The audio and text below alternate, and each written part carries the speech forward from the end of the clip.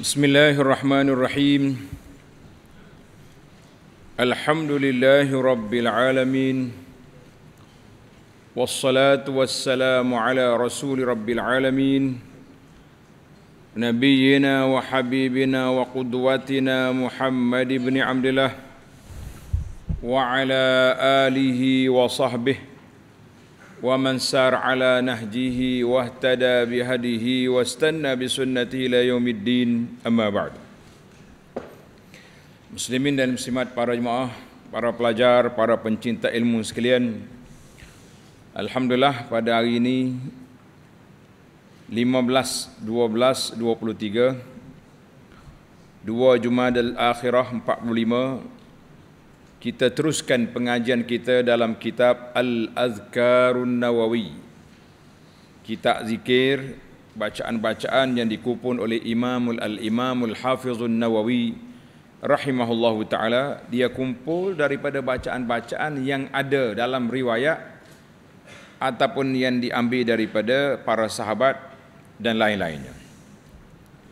Dan Imam Nawawi tidak syarat bahawa dia masuk di sini yang sahih. Kemudian para penuntut ilmu menjadi kewajipan kepada kita bila kita belajar dan kita ajar kita kena pilih ha, mana yang sahih mana yang tidak untuk kita nyatakan kepada para pelajar supaya pelajar ala bayyinatin tahu kita nak buat hak mana dan di mana yang yang kita boleh tinggalkan.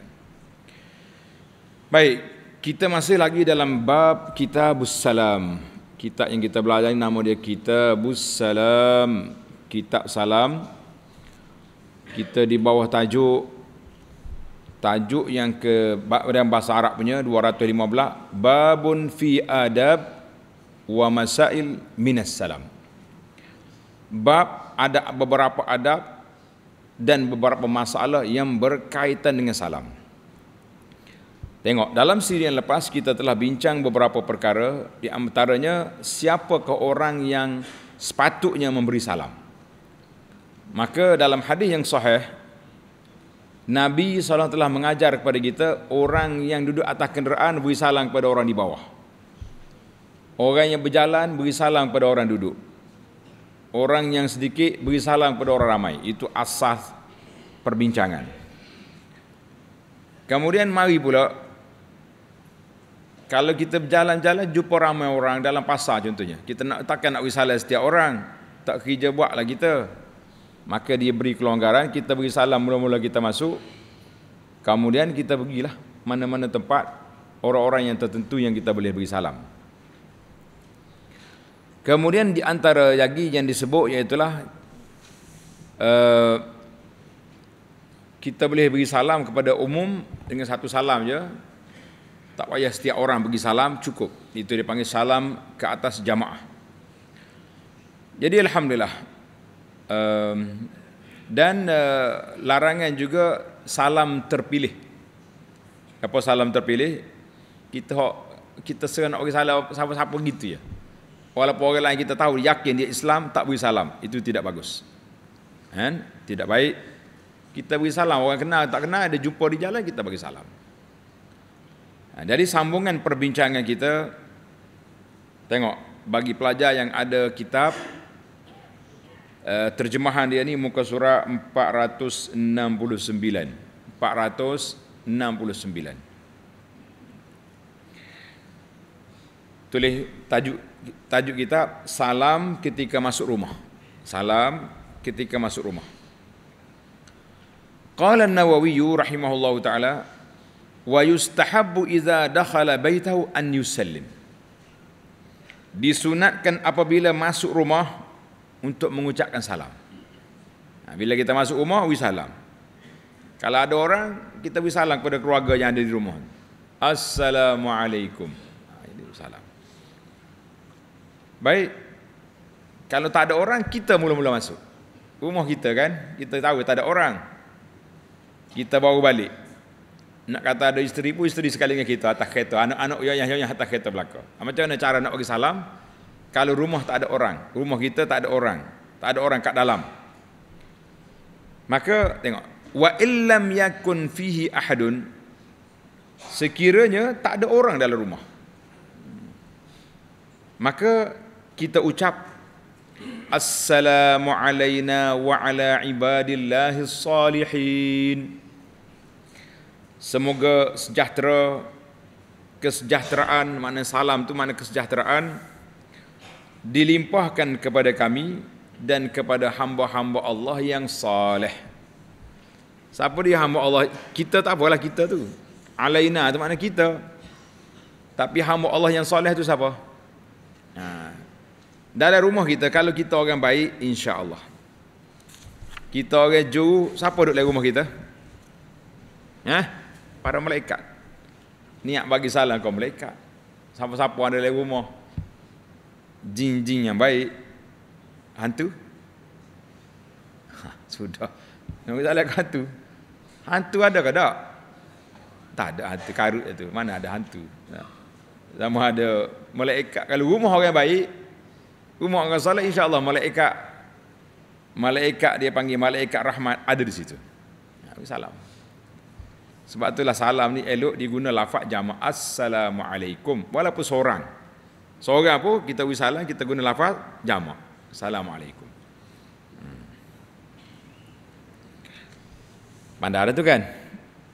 Wa qad qaddamna fi awwalil kitab Nawawi kata pada awal kitab ini telah kami jelaskan tentang bacaan yang diucapkan ketika masuk rumah.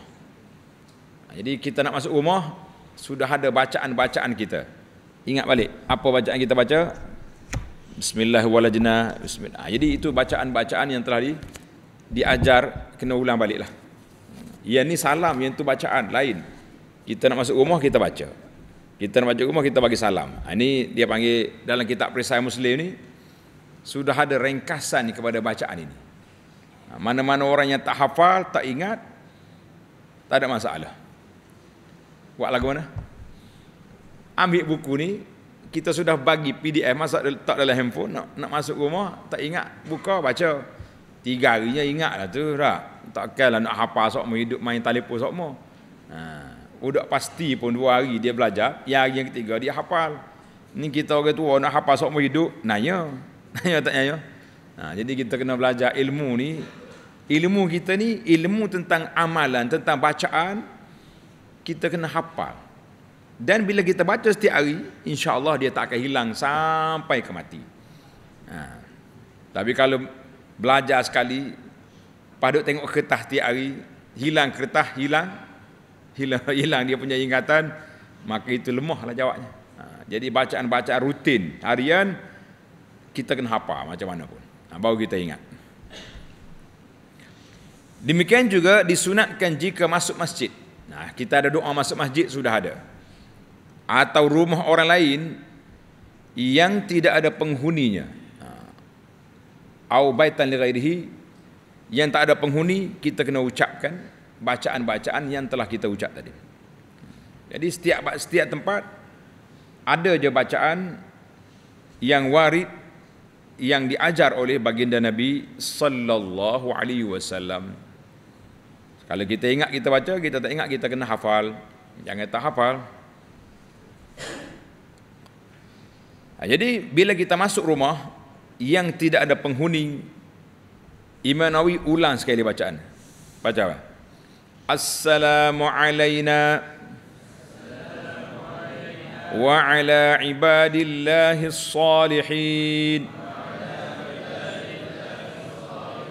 السلام عليكم يا أهل البيت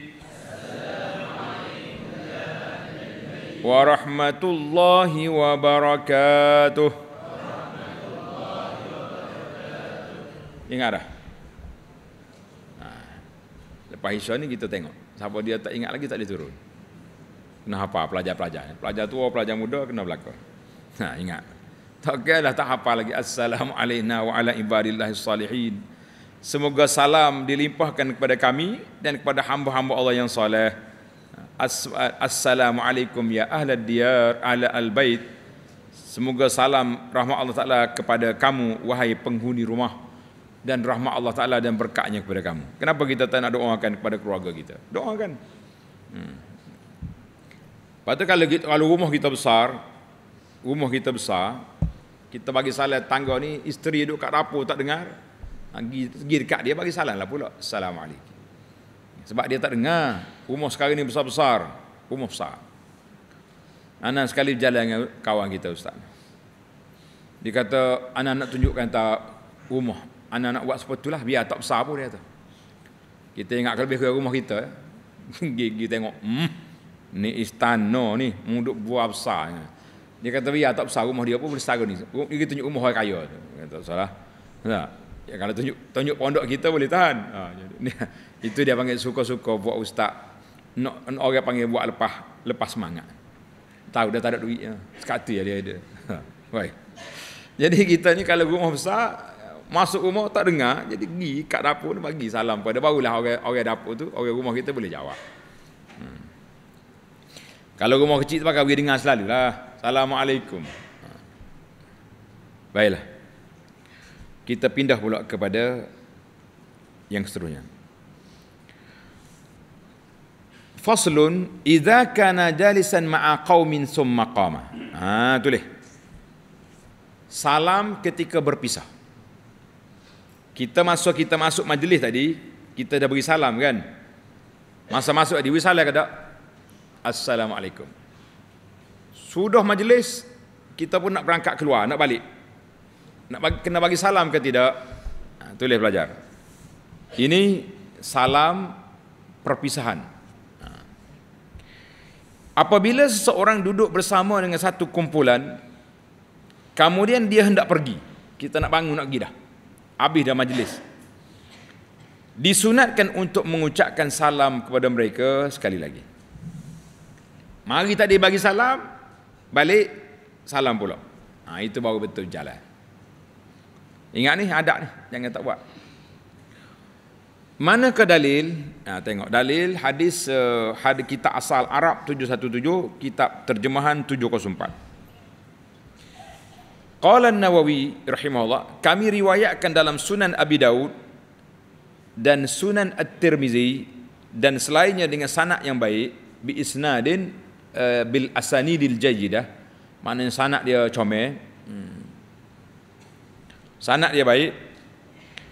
Daripada Abu Hurairah radhiyallahu anhu dia berkata Rasulullah sallallahu alaihi wasallam bersabda Idzan taha ahadukum ilal majlis falyusallim Apabila salah seorang daripada kamu sampai ke mana-mana majlis naklah dia beri salam. Kita nak masuk majlis, assalamualaikum. SOP majlis kita dah belajar kan? Mana kalau majlis orang ramai, kita usaha kat pintu je. Hak jawab pun dekat pintu. Jangan duduk kacau, ustaz duduk mengajar atas petah tu. Ha, break dia. Kena 50 orang baru masuk, 50 kali salah. Tak, tak ceramah lah dia. Nah, bagi salah kau dekat pintu. Fa'iza arada an yaquma falyusallim. Tengok. Dan apabila hendak meninggalkannya, meninggalkan majlis, maka dia mengucapkan salam pula. Assalamualaikum falaisatil ula bi ahaqqa minal akhirah salam yang pertama tidak lebih utama daripada salam yang berikutnya. Maknanya dua-dua tu salam. Salam jumpa salam berpisah. Hazal hadis kata Tirmizi hazal hadisun hasan kata di para muhakkik wa huwa sahih. Tulis hadis ini sahih. Mana kita kena beramal dengan hadis ini qala an-nawawi qultu Qultu maknanya qala Nawawi. Nawawi berkata, hadis ini dipahami bahawa wajib hukumnya bagi semua anggota kumpulan untuk menjawab salam orang yang hendak pergi. Ha, zahiru hadzal hadis. Jadi sahih hadisnya bila orang itu bagi salam kena jawablah. Jadi macam macam nak gini mana kena ramai-ramai kena jawab tapi ada perbincangan dia. Ha, ada pandangan.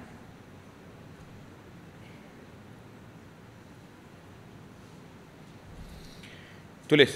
Pandangan yang pertama. Wa qad qala al-imaman telah berkata Imam Al-Qadhi Hussein dan rakan sejawatnya Abu Sa'ad Al-Mutawalli mengatakan dia kata apa jarat adah ba'dun nabi sallam ha. ada sebahagian orang memiliki kebiasaan maknanya biasanya sebahagian orang ini mengucap salam apabila hendak pergi meninggalkan majlis. Ini itu merupakan doa dan disunatkan untuk menjawabnya tapi tidak wajib.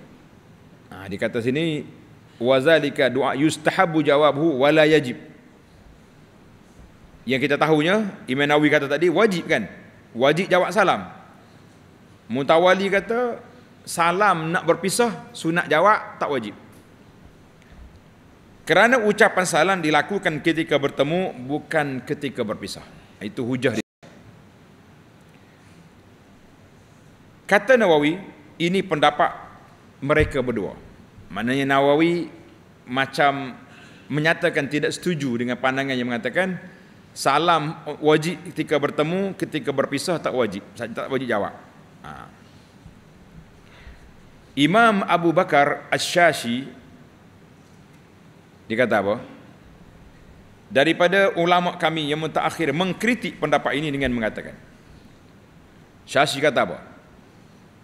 Wahaza fasidun. Pendapat ini fasid mana tak boleh diterima. Keliru. Tak elok. Pendapat ini tidak elok. Kerana mengucapkan salam ketika hendak pergi hukumnya sunat. Seperti sunat ketika datang. Ucap sunat, mari ke balik. Dalilnya adalah pendapat. Dalilnya hadis ni. Ha, jadi dua-dua tu sunat. Pendapat asyasi inilah yang benar. Maknanya kalaulah sunat bagi salam juga ketika nak berpisah. Jawab dia juga wajib. Itu ya hukum dia. Boleh. Oleh kerana salam ketika berpisah sunat maka jawab salam jadi apa? Jadi wajib. Ini yang dikatakan mula sunat sudah sudah wajib. Ha, ada benda kita mula dengan sunat tapi dia sudah dengan wajib. Allahu akbar. Ha, jelas sini. Mana Imam Nawawi ni rahimahullah. Anak-anak pelajar yang tua yang muda kita kena tahu. Cara Imam Nawawi dia buka minda. Tengok dia bawa pendapat kalau dia tak mau bincang, tak payah buat pendapat. Dia sebut je apa yang dia nak. Naknya sunat berdasarkan hadis ini sunat ucap salam ketika berjumpa dan ketika berpisah. Oleh kerana dia sunat, maka jawabnya wajib. Habis cerita. Faham eh?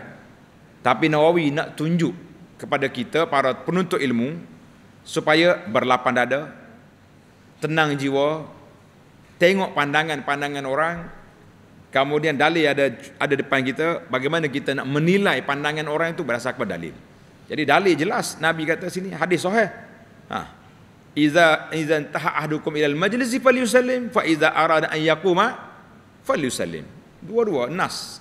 Kenapa kita nak tak perlu kita takwil-takwil banyak sebab dua-dua itu sudah dinaskan bahawa elok, comel, lawa kita kena bagi salam. Ha, itu dia panggil salam kepada uh, orang yang nak pergi. Jadi kalau kita nak balik, kita beri salam juga. Macam tadi lah. Kalau majlis kita salam dekat orang sekitar kita tu lah. Lepas tu yang jawab seorang dua, jadilah. Hmm. Baiklah. Mari kita tengok ini satu fasal. Fasal ni bagi anda menarik. Fasal tentang perbincangan hukum kita beri salam pada andaian kita orang ni tak jawab salam. Contohnya kita lalu sekumpulan pemuda-pemuda duduk yoya yoya duduk buah situ. Eh nak usaha ke duduk ni? Geng-geng ni kalau bagi salam pun tak tak jawab ni. Nak. Buat-buat tak kerti apa ni. Buat-buat repit. Contohlah kita buruk sangka kita dengan orang. Nak usaha ke tak? Kalau kita rasa beri salam pada orang ni tak ada faedah. Nak bagi salam ke tak? Tengok kita. Ha, ini penting. Sebab tu anda letak tajuk sini ketegasan Imam Nawawi. Kita belajar tengok ilmu tegas. Qala Nawawi tulis tahu ya. Uh, tulis tajuk dia beri salam kepada orang mungkin tak jawab salam. Kita beri salam kepada orang yang mungkin tak jawab. Dia sibuk ke, dia tapi syarat dia kena dengar. Ataupun macam orang takabur dia ni, nak duduk cokor atas kerusi lepak kaki, toh, kadah kaki begini duduk. Oh. Ai dia ni wisalah tak jawab ni agak. La hakul muslim tengok. Apabila seseorang lalu di hadapan seseorang atau lebih dan besar kemungkinan kalau dia mengucapkan salam maka salamnya tidak jawab.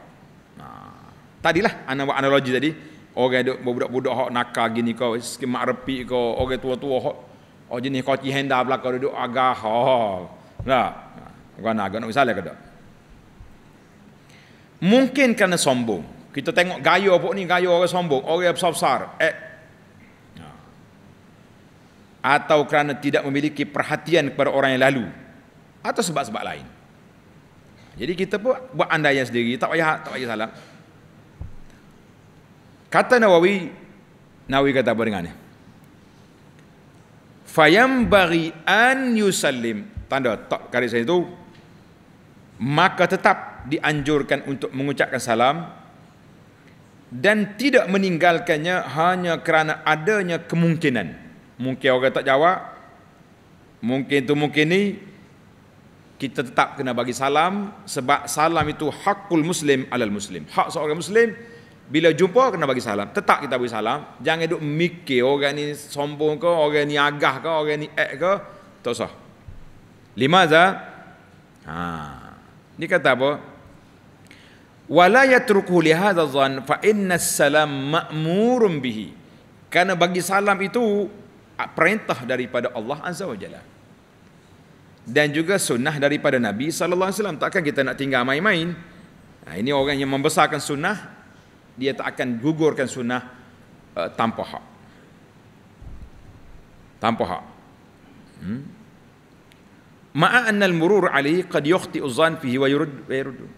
Orang yang lalu diperintahkan untuk beri salam dan tidak diperintahkan untuk menghasilkan jawapan ke atas salamnya. Ha, jadi kita ni tanda pelajar kita ni diperintah oleh Allah beri salam. Kita tidak diperintahkan menerima salam. Jawab tak jawab itu dosa kan tu. Kalau dia tak jawab dia berdosa. Kita dah lepas tanggungjawab. Kita kena beri salam. Apalagi dengan kemungkinan zon sangkaan bahawa perkiraan tersebut boleh saja salah sehingga orang yang diberi salam akan menjawab dia boleh jadi salah kita anggap orang sombong tiba-tiba kita salam assalamualaikum eh budak-budak ada buah tadi waalaikumsalam Allah pak cik mari mana Nah, kalau orang tua tu ayah mari mana tu? dia tegur kita pula. Berlaku tak berlaku? Ada. Jangan anggap orang tu. Ha, kadang-kadang kita nampak orang ni sombong dah. Ha, duduk kadah kaki baju sok bawah. Assalamualaikum. Dia jatuh kaki dia. Waalaikumsalam. Tengok, kita tak boleh sangka tidak baik pada orang dalam ihya sunnah. Tanda pelajar. Dalam ihya sunnah tak boleh kita bersangka-sangka begitu ya. Jangan main-main. Tengok. Qala Nawawi, ha, ini ini tulis pelajar, tulis. Contoh lembut Imam Nawawi tapi tegas. Imam Nawawi ni lembut orangnya tapi tegas dalam menyampaikan sunnah. Wa amma qawlu man la tahqiq indahu. Nah, Nawawi kata, adapun halnya pendapat orang yang menyatakan hmm, bahawa tak, bahasa dia lebih lebih keras. Tulis apa? Tulis mula terjemahan. Adapun Imam Nawawi ini dia tegas. Bila dia tegas, dia bagi satu kata-kata yang begitu besar. Wa amma qawlu. Adapun kata-kata orang yang la tahqiqa indahu. Maknanya tidak ada penelitian tentang sunnah di sisinya. Dia kata apa? Anna salam al-mar salam salam seseorang yang kita lalu tu menyebabkan dosa bagi orang yang kita lalu tadi. Eh, kita tahu orang ini duduk sibuk, kita beri salam. Jadi, kita menjadi penyebab dia berdosa sebab tak jawab salam. Orang itu kata. Ah. Nawawi kata apa? Fahuwa jahalatun zahiratun wa ghabawatun bayinatun. Ha, tengok. Imam Nawawi kata, perkara ini, pendapat seperti ini merupakan kebodohan yang nyata jahalatun zahirah tulis mula terjemahan perbuatan seperti ini adalah merupakan kejahilan yang zahir dan kebodohan yang nyata. Ha. Penterjemah kita dia dia kendurkan ayat Nawawi ni. Kita nak tegas Imam Nawawi. Contoh ketegasan Nawawi dalam apa? Dalam menyampaikan sunnah. Nawawi kata, orang yang kata lagu ni tak boleh bagi salam kepada orang yang kita sangka jawab, takut dia jadi dosa bahwa jahalatun zahiratun wa ghabawatun bayinatun. Satu kejahilan yang nyata kebodohan yang nyata. Fa innal ma'murat syar'iyyah la tasqutu 'anil ma'mur biha bimithli hadhihi al khayalat. Ha. Imam Nawawi kata sesungguhnya perintah syarak tidak gugur dengan khayalan seperti ini. Jadi kita jangan maka pejuang-pejuang Islam anak-anak kita ni kita semua ni ahli sunnah kita ni siapa ahli sunnah Setiap ada yang sahih yang warid dari sunnah Nabi sampaikan pada masyarakat walaupun orang tak suka. Terak. Hei, pelik awak ni. Orang lain baca lagu lain awak nak baca ni. Kata ni hak Nabi ajar, kenapa kita tak boleh baca? Kau orang marah. Hmm, tengok. Tengok. Orang ni takut berdosa orang sebab tak jawab salam. Nawawi kata jahalatun zahira wa ghabawatun apa ni bayyinah. Jadi kalau kita kata eh, kita ajar hak sunnah ke orang marah, ini termasuk dalam teguran Nawawi jahil yang yang nyata dan kebodohan yang sangat teruk. Nah, jadi kita tegas dengan sunnah, jangan main-main.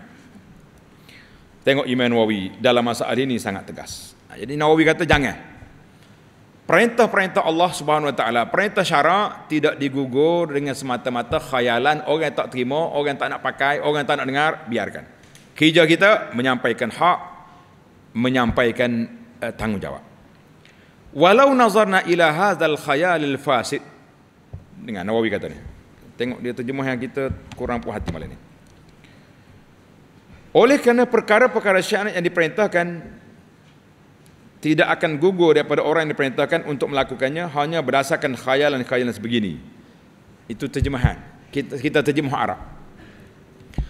Dia kata lau nazarna ila hadzal khayalil fasid kalau kita tengok pada sangkaan khayalan yang tak betul ini la tarakna anil inkar al munkar banyak benda yang kita tak nak ingkar benda munkar ala man fa'alahu jahilan kaunuhu munkaran nah, jadi dia tak tahu benda tu munkar dia buat benda munkar kita nak larang takut dia marah. Maka Nawawi kata banyaklah benda-bendanya. Pakar tak tak engkar mungkar. Wa ghalaba ala zannina annahu la yanzajidu biqaulina semata-mata kita kata eh puak ni kalau kita larang pun dia tak dengar. Puak ni kalau kita larang larang pun dia tak dengar tak boleh. Ha, jadi kalau kita eh, jadi kita larang tak dengar kita kena larang juga. Dia dengar tak dengar itu cerita lain. Tengok ni apabila kita berpegang pada persangkaan prasangka seperti ini tengok kita Apabila kita berpegang pada prasangka seperti ini, maka jelas kita akan meninggalkan perintah amar ma'ruf nahi mungkar ke atas orang yang tidak mengetahui bahawa yang dilakukan itu adalah satu mungkar. Eh, hey, tengok orang perempuan tak utuh aurat. Kita tahu benda itu mungkar maksiat. Kita tak tegur. Sengih pula kita. Ambil gambar sekali dengan ustaz. Ustaz tu lupuh gambar pula. Wanita tak utuh aurat. Dia ingat tak apa lah. Oh, okey, dia pakai aku. Ustaz, ambil gambar sekali aku. Dia post di Facebook dia. Ada jadi. Ha, besar kerusakan ni. Punah banyak dengan sebab kita. Maka Nawawi kata. Nawawi kata apa? Kalau kita sangka lagu ni, kita larang orang tak dengar. Kita pun tak larang, maka ramailah perintah amal ma'ruf tergendala dengan sebab ini. Bahkan lebih jauh, dia tidak akan berhenti daripada perilaku tersebut. Dia tak akan berhenti sebab dia kata tak ada orang engkar pun dia tak ada orang tegur pun dia. Ha, tengok ni. Tidak diragui lagi bahawa kita tidak mungkin meninggalkan amal ma'ruf nahi mungkar hanya lantaran sebab-sebab seperti ini jaga. Ha, jadi kita jangan, jangan tinggal. Jangan tinggal seperti ini. Ha, jadi boleh jadi dengan sebab kita tegur dia berhenti saya bila baca kata-kata Imam Nawawi kita terasa lemahnya kita taksir orang panggil cuainya kita dalam ilmu dakwah sebab kita banyak dia panggil pelesif sekarang ni nah, takut nak jaga diri takut orang marah biarlah hak sunnah tak berjalan apa tak apa asalkan kita selamat. Nah, hati-hati. Satu cerita, ni bukan nak memuji kita tapi nak cerita pengalaman yang ana terkejut. Ana pergi ceramah satu masjid di di ibu negara. Masjid besar. Pagi pagi Sabtu saya ceramah, malam tu ada sekumpulan syekh bergendang sampai pukul 12 malam di masjid. Bertahu-tahu kita pergi. Yang peliknya budak hak tidur di masjid, terpagi esok dia ngaji dengan kita pula. Budak ni tak tahu apa ni, malam bergendang, pagi ni mari ngaji sunnah dengan kita. Tiba-tiba bertukar imam. Imam bertukar, dia mari cerita dengan saya, dia kata, Ustaz, saya nak Ustaz tegur acara yang dia buat bergendang dalam masjid ni mungkar. Ana pada waktu itu takdir Allah Taala nak tukar pindah ke masjid lain kuliah. Kita bertegur 10 minit. Baca hadis, baca pandangan-pandangan ulama tentang bergendar dalam masjid ni mungkar.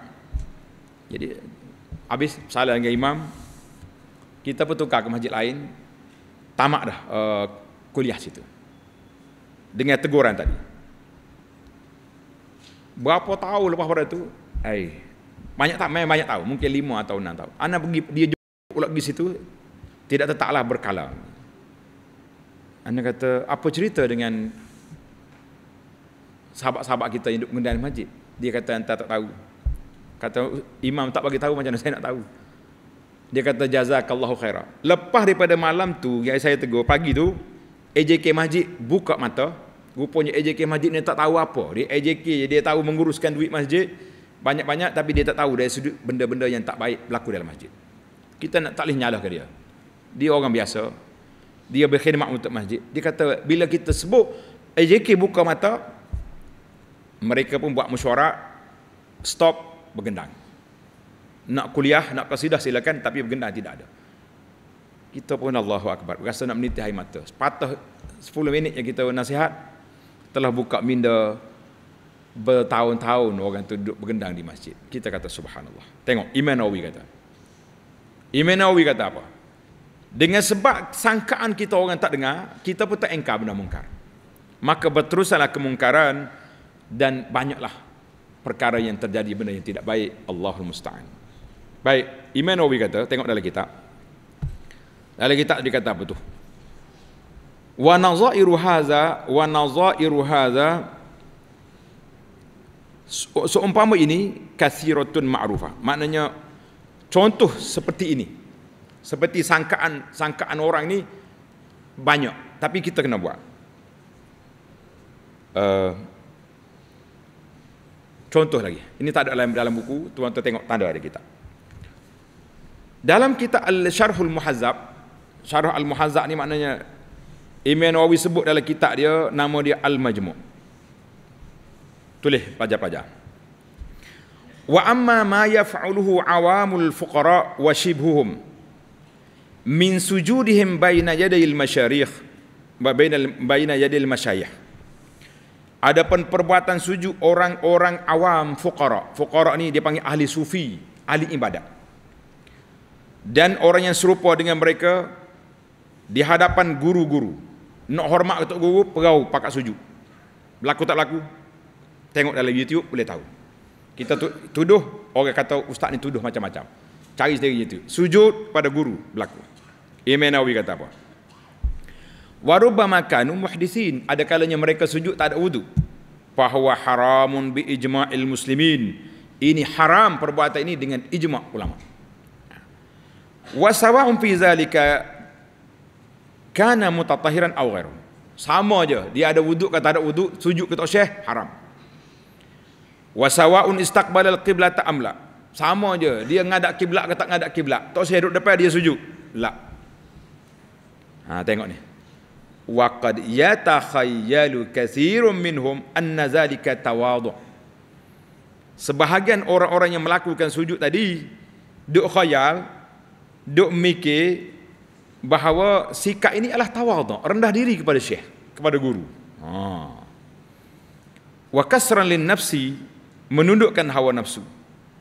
Kami ni bukan sembah tak syekh, hormat kepada guru sampai sujud.